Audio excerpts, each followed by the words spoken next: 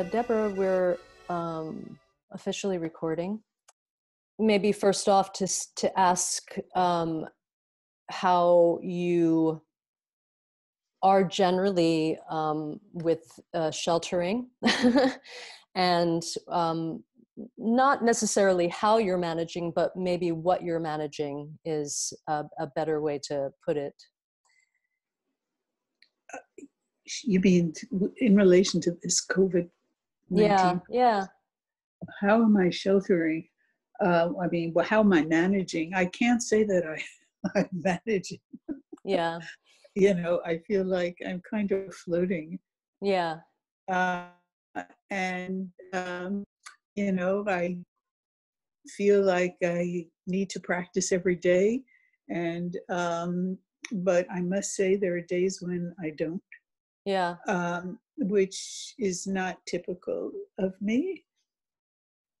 And um, I'm eating a lot. I, I, guess I could say I'm managing to make, I'm managing my food very well. I, I'm eating well. That's good. and, and abundantly. But um, I could I could also afford to put on weight, so I'm not I'm not terribly worried about it. Yeah, I wouldn't be worried um, about that either. Uh, I've been thinking I, a lot about that. A, yeah, I think that's about if if if I had to describe how I'm managing, I am managing my groceries and my food to make yeah. sure that I have three i i mean i don't even normally eat three meals a day yeah yeah. you know i'm going for about five or you know three three medium size and two small i mean just you know if anything comes into my mind to eat i eat and, and prepare i'm enjoying preparing it a lot. Yeah yeah. A lot of pleasure in food preparation. Yeah i mean i guess that you know these are ways in which we're sort of transferring the practice you know whatever practice we normally would have you know and i've been finding that for myself it's you know i haven't been doing a dance practice as much as i would and at first i was really disturbed by it um, but then i'm also trying to practice some patience and um, you know which is i think relevant right now um, or at least maybe these conditions are sort of forcing that on everybody. And I've been thinking a lot about um, this notion of the continuity of discontinuity. I've been thinking a lot about that. Mm. And not only in terms of practice, but in terms of reality. Mm-hmm. um, it feels really um, like right here. Uh, mm uh, for me um, but also just that you know that because you have been you know i know that you are working you're working on some new material uh, for Cullberg um, and um, you know that last line in that draft which i don't know if you feel comfortable with me saying what that last line is because it's so when i read it i burst out laughing because it was so um, it re- was really meaningful to me. Um, so I just want to say what that is, if you feel comfortable with me uh, saying that. Um, uh, not wanting to practice is good medicine for practicing, and you know, it's simple, but I feel like it's really profound. Like I uh, like you know to and i feel like this is part of your work too it's like how you integrate um everything it, you know it's how you attend to integrating what's uh what's available to you and um yeah so i've been thinking about those two things the continuity of discontinuity and that last line um, for myself. So thanks for that. um, thanks, thanks for reminding me. yeah. Um, you know, oh, yeah. I, you know, in terms of um, lineage, just to kind of get right into it, do you? I mean, it's it's it's pretty common knowledge that you you know you worked with Cunningham for a bit and you're you were part of the Judson Dance Theater. But do you when you think of your work, do you feel like you're a part of a specific lineage, that you're in line to a certain choreographer or to a certain movement or artistic practice? You know, I, uh, I, I, you know, I, I do and I don't. Mm-hmm. I mean, for instance, in terms of an artistic practice, you know, I would say John Cage yeah. had more of an influence on me than Merce in yeah. a way. Uh, you know, Merce, I, I, I could say that Merce gave me um, some tools which I didn't experience in my body, hmm. but I experienced watching his work, hmm. uh, which is time and space. Yeah. Um, eh, those were tools that you know I, as you know, I use. I use I, I very differently, but as as vital material. Hmm. Um, that and when you think and when you think about like when you first started or was it just like a continuity like you know these were the tools that that merce was working with and then you transferred did you think of it like that or no no, no. it didn't occur to me till much later yeah how i how i was touched by seeing his work how mm-hmm. deeply I was touched by. I mean, I knew I was touched by his work right at the from the very first time I saw his work, but knew how I was touched by his work did not occur to me till much till much later. Yeah. Well, you know, when I began to get really interested in choreography. Mm. Oh, that's interesting. That's that's when I started, um, and and that didn't happen till late in my, yeah. I think in my career. So um, yeah.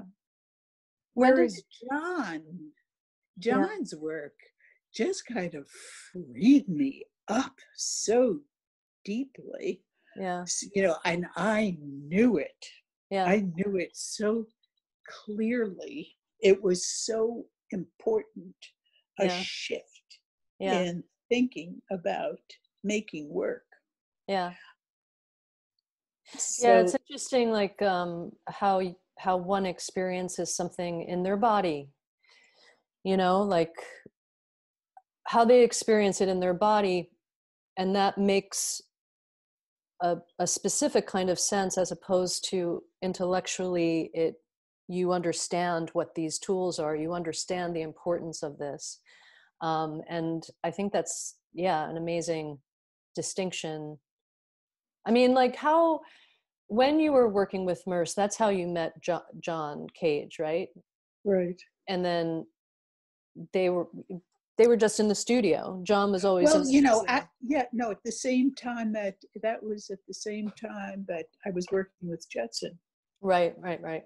So John's John's theories of composition were introduced right at the start right. by Robert Dunn yeah. as yeah.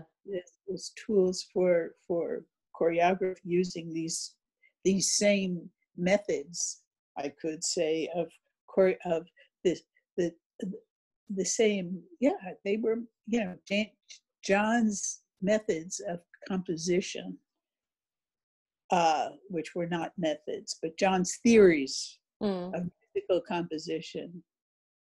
I, that was happening right alongside mm. um, the the working with Merce. Yeah, that's great.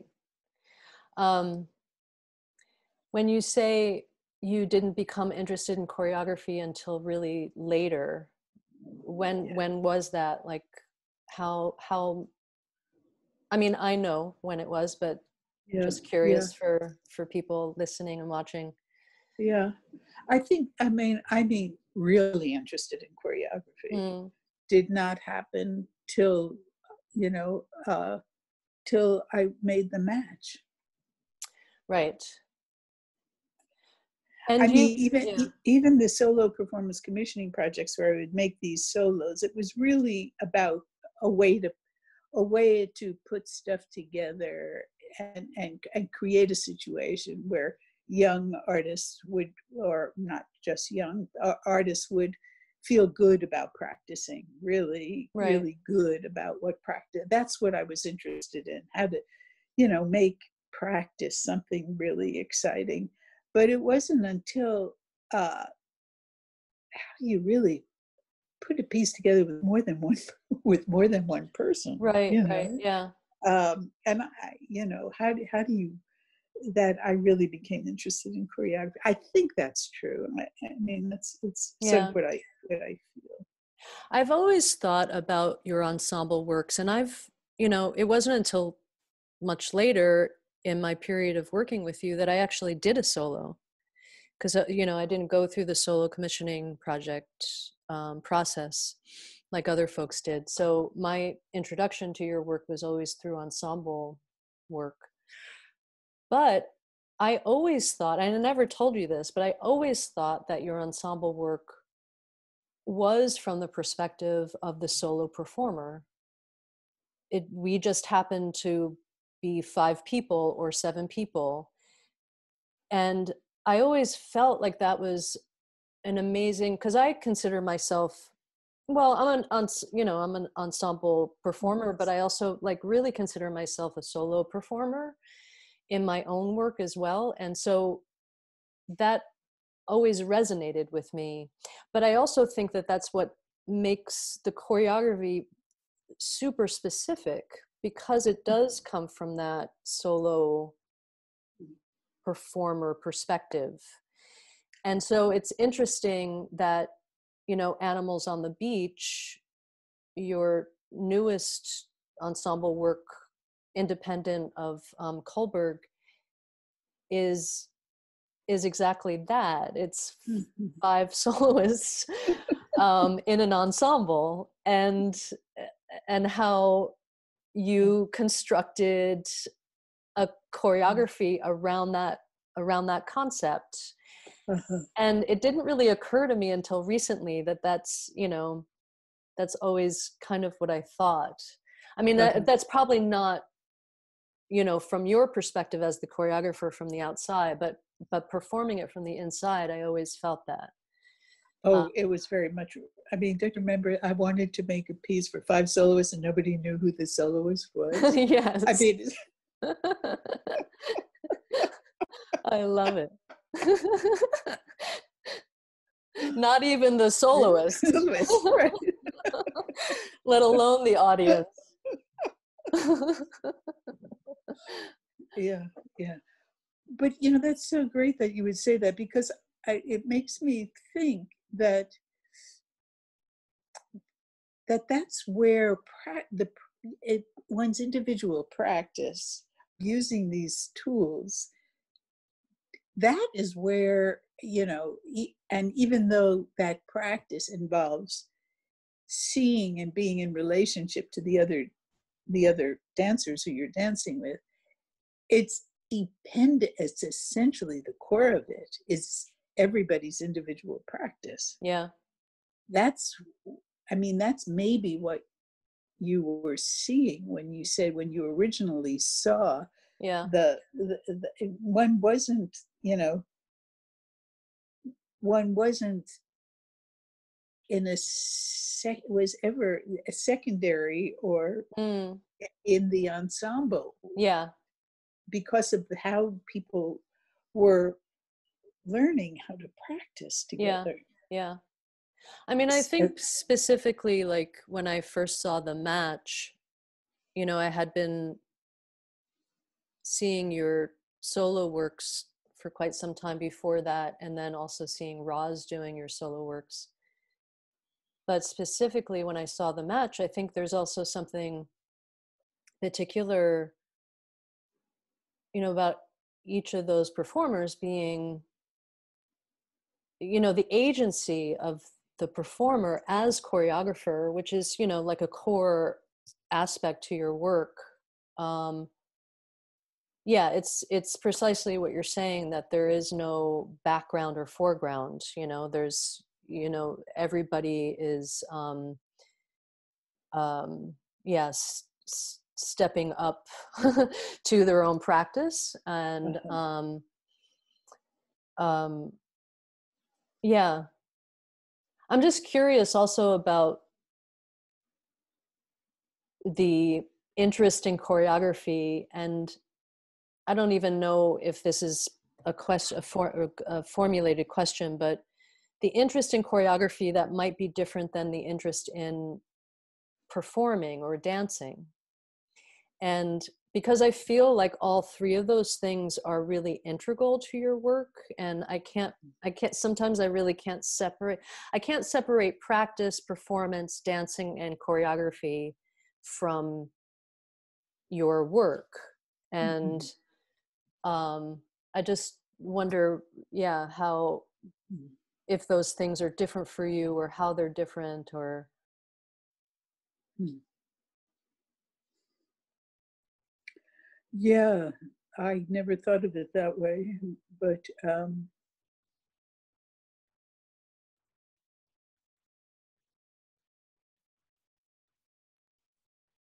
I think that's that's a great that's a great observation. I mean, for instance, if a movement is turning without turning, you know, how how how does how any one person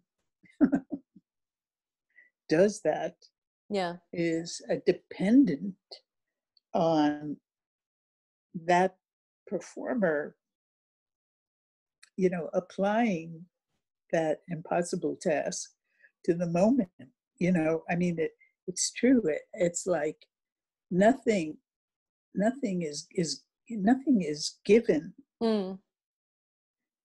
you know it, and it's the difference that actually is interesting to like yeah and that becomes part of the yeah. choreography and part of the mm. part of the performance and part of the dancing yeah yeah that's great i think a lot about um i'm struck in listening to you um, how much absurdity figures into your work and um, and also the design i would say the design of your language that is super specific and it's almost like a good joke you know like like you have to design it so that the punchline or like how it unfolds is not known mm-hmm. and um i'm just curious like where does this element of absurdity like why is that so crucial to you? Like where does where does that come from?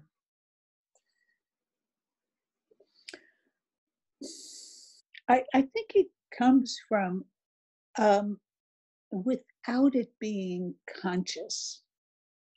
I think it comes from an attraction to eastern philosophy. Hmm. I think it comes from, you know, like the element of paradox, hmm. which, you know, I don't think I could have lived this long in any sane way if, if I didn't um, if if I if I didn't at some and I it's really I feel like at some unconscious level I embrace these elements of um, of I, Buddhist um, Buddhist what? Like it's not philosophy Buddhist ethics mm. Buddha you know um, and the and the and not just again and you know the the presence of the I Ching in, in my life and I think you know it was you know there again it goes back to John Hmm. and the I didn't know the- that the- about you. oh yeah I I consulted the I Ching for a really long time Oh, wow. uh, okay. through the uh, I would say through most of the 70s. This is something actually I'm just being made aware of, which is something Laurent Pichaud has has Yeah. been pointing out to me. Like a lot of my earlier group pieces were based on I would throw the I Ching before a large group workshop for the just the big message for that particular message for that particular workshop Okay. and it really and and that that paradox that shows up in absolutely every single hexagram i think that you know it was so it was such a relief Hmm. to me that to, to consider you know heaven below Hmm. such a relief to me to consider that Mm. That it wasn't all about your will on something. Yeah. Yeah. Which, yeah. Look at look at where this got that that gets us. yeah, right. yeah yeah in the shitstorm that we're in right now. Yeah, Um yeah. yeah. Oh, funny. Speaking of Laurent, I yeah, like I um in preparation for this um for this talk, I was thinking a lot about the the re-perspective at Tanz im August that happened this past summer in Berlin and which feels like a lifetime ago now. God.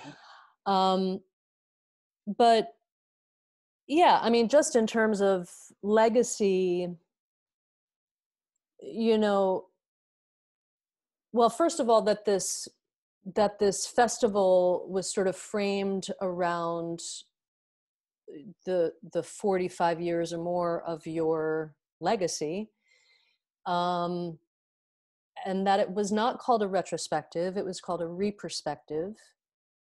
And so i'm curious about that reframing of that neologism and also yeah what that process was like for you to kind of look back and also look forward um because it was huge. It was a huge undertaking. Yeah it was uh, you know it it feels like it was just a uh, continuation of my of my process in general.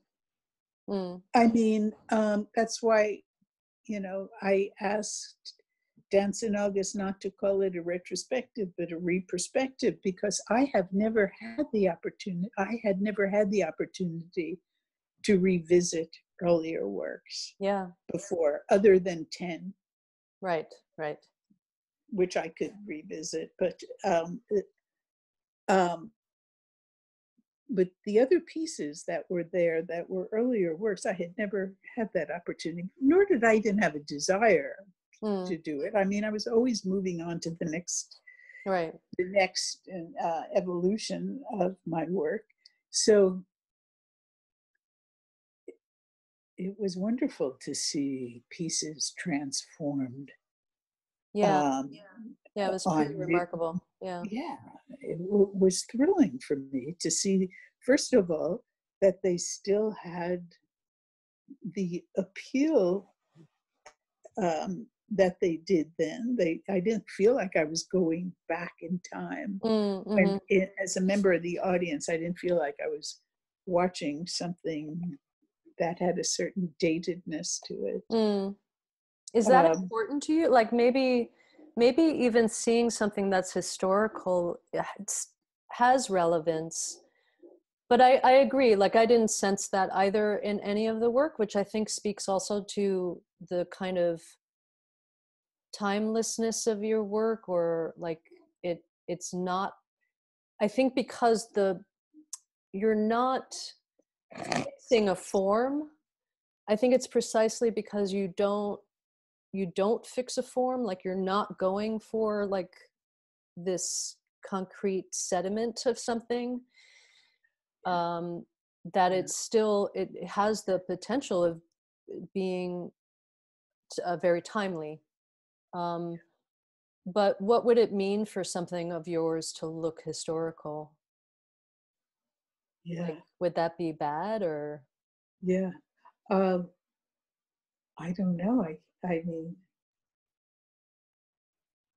it's a, it's a funny question. I have no idea. Mm, mm. i mean not that i think it would look bad but you know i mean i found something out by by Mm. by the permission and the invitation yeah of in August to do those works. I found I found out that um, that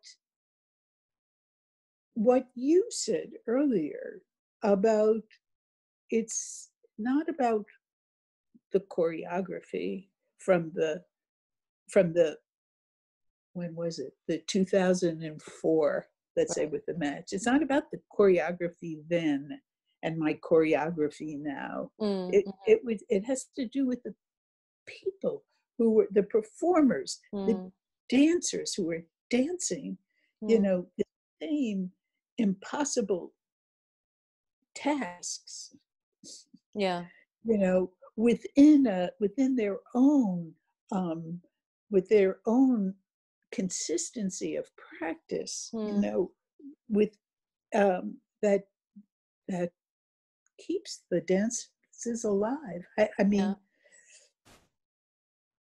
yeah I I- remember once when I was touring with uh, Misha right in the PASTForward project.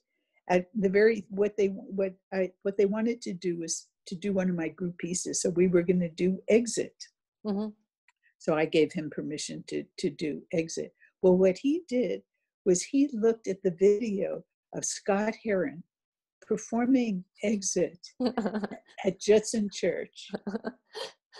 And that's what he said about choreographing to teach a group of untrained performers.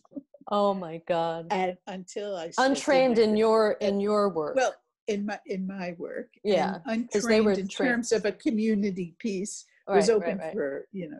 oh i see I yeah mean, ori- originally it was a solo, yeah but then we were going to do it as a group piece. I had taught it several times previously as a group piece, and colleges and universities love doing it.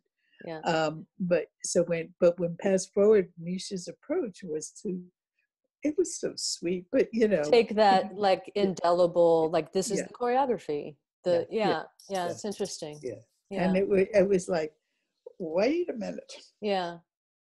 I mean, it's so interesting because I'm really struck. Like, I've been thinking a lot about transmission, and, you know, in this time, like, you know, some people have asked me to teach classes online, and I've been sort of resistant to it because I. I think I've just been reflecting on what actually gets transmitted, you know, if you're not in the room. And then I was thinking about your work, and there's so much in the construction and the design of language that creates this permission for possibility. But it's not only that, because you have it's the application of it that is also specific. And so it's not just Seeing that you can seeing, seeing the application of it. well, it's no, it's the practice of it. It's like the pra- it's okay, like the okay. dance. It's like the dancer's application of that practice over time. That's right. not just about reading Right. these words and then you do the choreography. It's Right. like that's where the I think that's where it gets it gets confusing for some people and it also like where the thrill of it for those of us who have been doing it for a long time is like yeah you could be practicing this language for 3 months and like after like the fourth month it's it's completely different. Like your application of it Mhm, is completely different.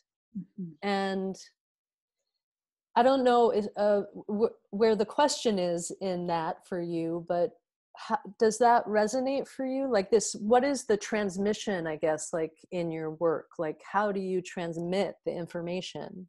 Because it's in the language, but it's also something else. Mm-hmm. I, I that's why I think you could, your, you, your, you and Ros are the only two examples of people who I feel can transmit mm. this material because of your experience with it. Mm. it. Can't be done in writing. Right. It absolutely cannot be done in writing. I, I mean, the writing part of my work is something else entirely. It, mm-hmm. it isn't to transmit. Right. Right. you know, it, it, it's it's about writing. Right. It's about writing, not about transmission. It needs the voice of experience. It needs mm. your voice. It needs my voice. Yeah. You know, you get a voice like this teaching something at my work, and you know, nobody is going to hear it. No, it's totally true because I, you know, your voice is very particular. I mean, when you say your voice, you mean the dancing voice, but the real voice, the the the the, um, the voice of somebody who has been working on finding out just what's possible for you know yeah. i've been experiencing it yeah, you've been experiencing it. Yeah it's yeah. in the voice. Yeah. Yeah that's interesting yeah i hadn't thought of it like that but it, when you say it, it it's true because i when you coach when you specifically coach when you're in the room there's a there's a way in which you speak that's not like the voice that you're speaking in now it's like some other voice and i think it's an embodied voice mm-hmm. like yeah from that place of experience from that place of practicing you know how long has it been 47 more than that. It's more than that uh. 1970 yeah. 50 years. Yeah yeah yeah. That's yeah. Um. Yeah it's i guess i'm thinking also about it because of this you know this new role that i have the opportunity of being in with Cullberg you know like shepherding some of your work. And yeah i've been thinking about that about transmission like what is what is it? Um and yeah so that's that's also good to ground myself in that like that it's um, the voice of experience as well you know and i'm also thinking about seeing mm-hmm. because you're you're also seeing the people that i'm that you're working with right so it's in your voice but it's also you're i'm attending mm. to how the voice how the material is being transmitted. I, you know, I'm looking at 18 other people at the same time I'm transmitting it, at the same time I'm in this, in my practice with all of them at yeah. the same time. And that you have enough experience to recognize just like what to say, you know, just mm, a mm. moment out from watching somebody else. You have that experience of yeah. seeing what it looks like so that you can keep coaching. Right, right, right, right. Yeah. So it isn't like these fixed um, uh, methods that produces something. It's like this toolbox that you um, draw from.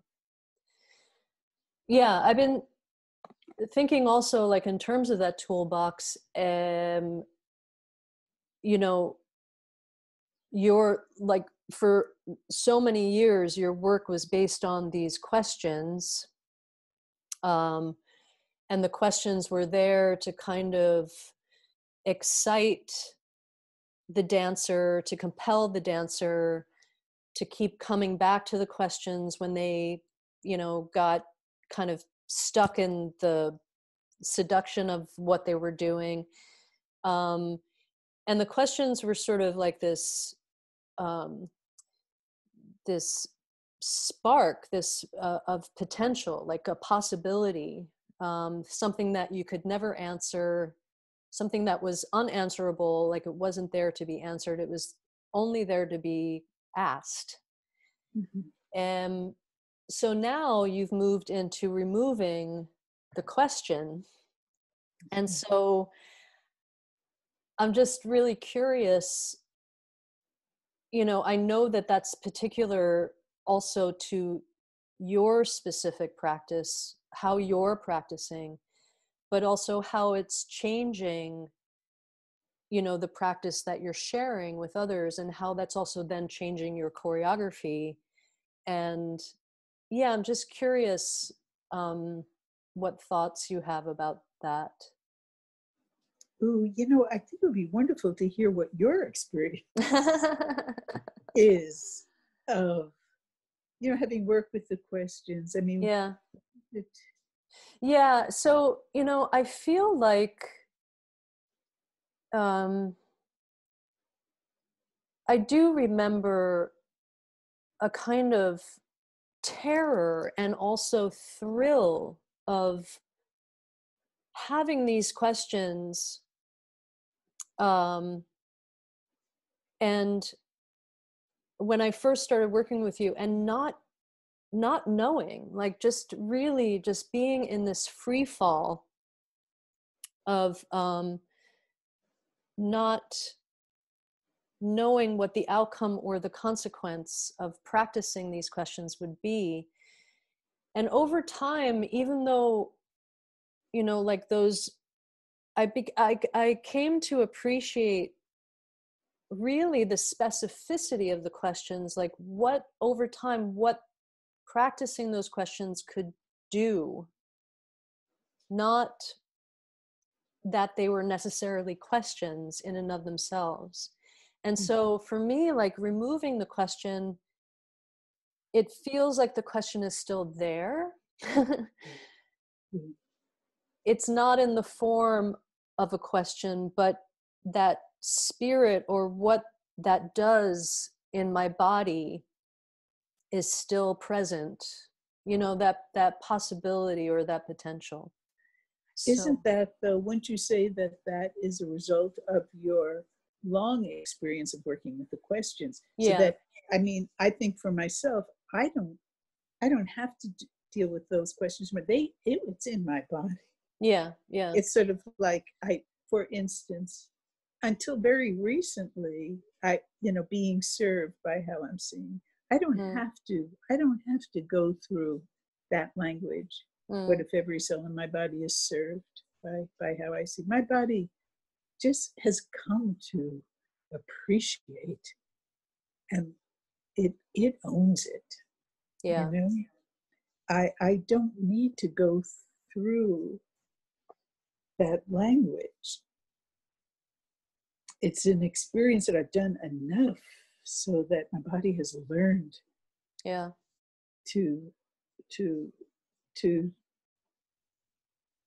take it on yeah. to step up to it without having to be reminded it's there. Yeah.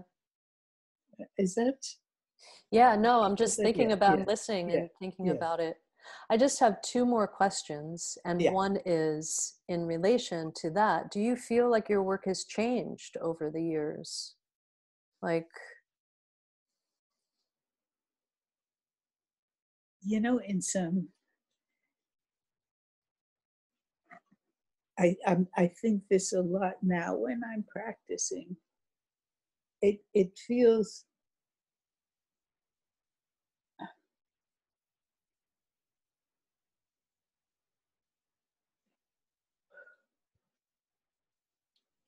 I can't, you know, I can remember at different times in the evolution of my work where I think, I can't imagine going doing any having anything more than this experience right now. Mm. You know, even what if where I am is what I need was so great.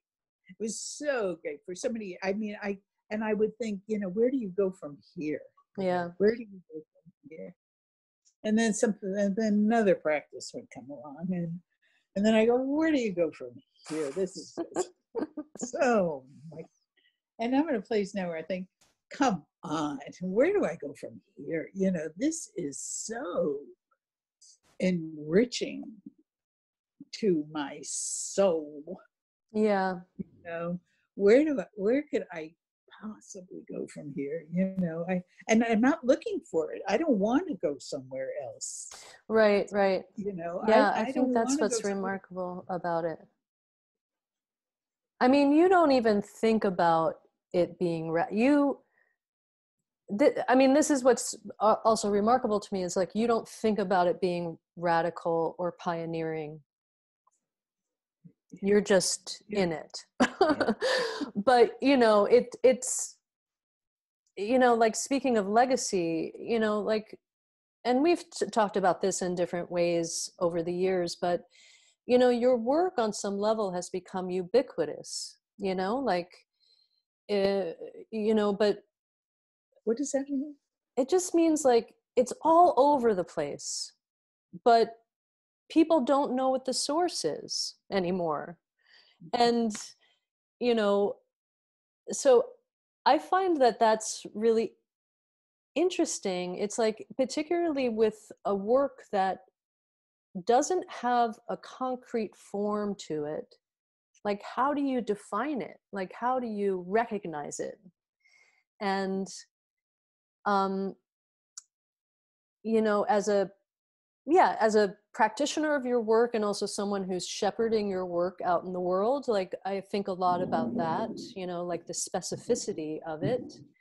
Um but i think from your point of view you're like yeah it's change it's it's not this or that. It's like you know you embrace this sort of change of it or its mutability um you know to varying degrees i know it's not you know like Mhm. anything goes but um yeah so uh yeah i've just been thinking about that like where the source is you know Mhm.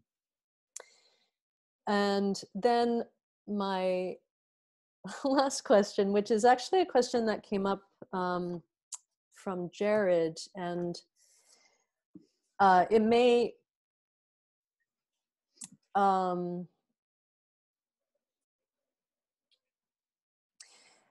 yeah, legacy. Legacy is a you know interesting um, thing.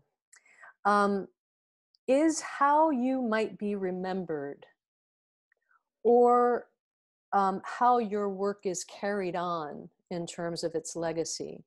Is that important to you?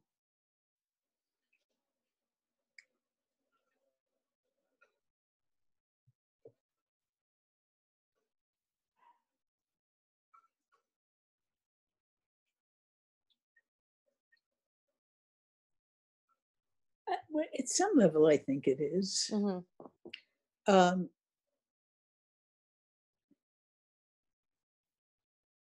for instance, I've looked at videos, I not many, and only once or twice, Mm. where it has used my name as the choreographer, Right. and I have no friggin' idea what it is I'm looking at. yeah. Yeah, this is what Uh, I mean about the ubiquity of it. You Yeah. Know? Yeah. and um, it it makes me sick. hmm Um, on the other hand, I'm kind of responsible for what I've set in motion, Yeah. and so I don't look at those videos Right. at all. Right. I Yeah. just I just can't relate to them. Yeah. But the fact that there's you and the fact that there's Ros in the world, you know, Yeah. Could potentially pass my work on to other dance companies who might be interested Right. in really digging their heels into, you know, a f- at minimum of a four week process before even considering doing my work. Um, that makes me very happy. And that Yeah. makes me think, I, yes, I do care. And um, Mhm. Yeah. Yeah. Yeah, that's um you know, it's it's a it's a very particular generation of a kind of democratic like truly democratic thinking you know like you know speaking of you know the sort of judson the the the the forms and practices that came out of the judson um, period you know like there's there's a kind of horizontal or democratic approach you know like yeah this is a shareable experience rather than like the hold of the author you know which is very capitalistic. Um but i think like i think what's important is understanding or respecting the um the source again like like what mm-hmm. the or like even the the the, the power the empowering nature of what a practice can do over time and not to be in a, in, a, in an assumption to know what that is. I mean i've been working with you on and off since 2005 and i still don't know what i'm doing you know like it, and you know it, it it's like how incredible is that you know like mm. to really like to not to be constantly in a place of unknowing um, and to re- be revisiting that um, so I think the the um, uh, the danger is actually in making an assumption that you do know what the work is. Um, mm-hmm. That I think is very special to to your your what you offer. Yeah. Mm-hmm. Um, yes. Thank you. I was just thinking of one thing, you know, that has become continues to be really important to me in terms of um, talking about legacy. That, and it's it's you've heard me say this over and over again. The importance of saying it's not the practice. Right. It's not the practice. I'm not handing anybody a practice. Right. I'm giving people tools to discover their own practice and how they practice. Mm. How they practice. And I think that that's what you're talking about when you say, I have, I still don't know what it is that I'm doing. It's mm. that rediscovery of yourself through how you through how you practice. Yeah you know, um, I, uh, and and the, the the importance of reminding people over and over again to every time they bring it up not there is no practice there is mm. your practice yeah yeah that's great that's a great reminder and a really important distinction yeah yeah that's great, Deborah. Thank you so much. Yeah, thank you so much. Very truly. Yeah. Um, well, I'm gonna um, just stop recording, but I'll still stay on. Thanks again, Deborah. Yeah, okay. I'll stay on too. Okay.